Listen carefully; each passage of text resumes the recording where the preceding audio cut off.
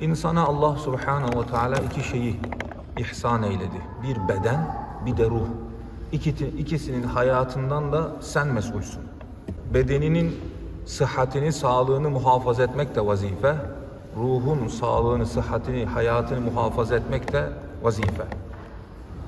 Bedenin sağlığını anlatmaya gerek yok. Zaten herkes ona gayet dikkat etmeye çalışıyor. Onun için zaten bütün kuruluşlar da var Allah'a şükür. Herkes onu yerine getirmeye çalışıyor.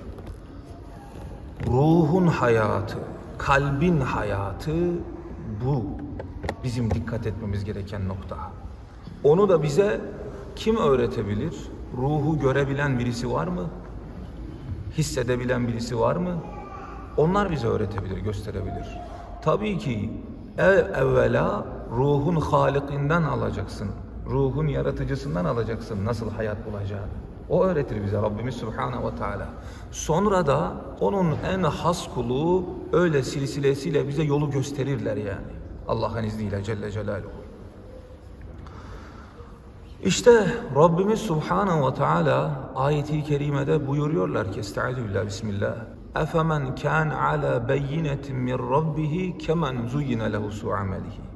Allah katından bir beyine sahibi olan insanla burası önemli bakın. Beyine sahibi. Beyine ne demek? Delil demek normalde. Yani lugavi sözlük olarak manası delil. Fakat hakiki tefsiri nedir? Beyine beyine insanın kalbine Allah'ın koyduğu nurdur. Celle Celaluhu. O nur ile kul kalbine gelen ilham mıdır? Yani haktan mıdır?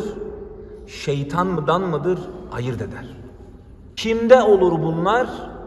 Bunlar hakikat ehli olan evliyada olur. Tabii ki asli olarak Resul-i Ekrem'de sallallahu aleyhi ve sellem.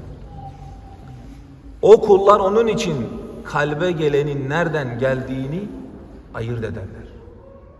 Kalp dediğin Allah'ın sana lütfetmiş olduğu en harika cevher. Çünkü onunla Allah'ı tanırsın. Subhanahu ve Teala.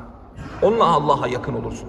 Şimdi bizler avamı nas olarak hadis-i şerifleri okusak bile hadis-i şerif okuduğun zaman manasında orada da durmuyor ki şeytan. Nefis durmuyor ki halbuki Resul-i Ekrem'in sözü. Ayet okuyorsun Allah'ın sözü. Ama geliyor oradan giriyor buradan giriyor şeytan yine istediğini sana yaptırıyor. Sen de bir de komik olan ne ki Allah'ın dediğini yaptığını zannediyorsun. Böyle bir sıkıntı var. Kalpler hayat bulması lazım. İhya olması lazım. Bu da Allah'a yakınlıkla olur Celle Celaluhu. Bu yakınlığı nasıl elde edeceksin? Tabii ki bunun bir riyazat dönemi, mücahede dönemi var. Efendimiz sallallahu aleyhi ve sellem buyuruyorlar ki Cahidu enfusakum bil cu'i vel ataş Nasıl bu mücahedeler nasıl oluyor? Nefsi terbiye etmek nasıl oluyor? resul Ekrem buyuruyorlar ki nefsinizle nefsinizle açlık ve susuzlukla mücahede edin.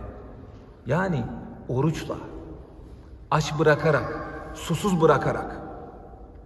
Aç ve susuz bırakmakta Allah yolunda cihad eden kulların nail olduğuna daha fazla sevaba nail olur. Allah katında açlık ve susuzluktan daha güzel bir amel yoktur diyor. Efendimiz sallallahu aleyhi ve sellem.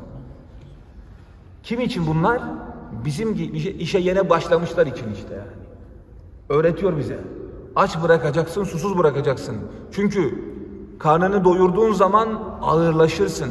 Kalkıp ibadet yapasın gelmez. Kalbini doyurduğun zaman ruhuna nefes alacak vakit bırakmazsın, yer bırakmazsın. Ruhun idrakını kapatır, bu sefer hep şeytanın sözlerine kulak verirsin. Bugün Allah'ı dinlemeyen bir toplumsak işte bundan. Rabbimizin buyruklarına önem vermeyen bir toplumsak bundan. Ne gelirse ya kardeşim. Ne helale bakar, ne harama bakar. Ne aza bakar, ne çoka bakar. Ruhun hayatı demişler, topraktaki mahsul gibidir. Toprağa su lazım mı? Lazım.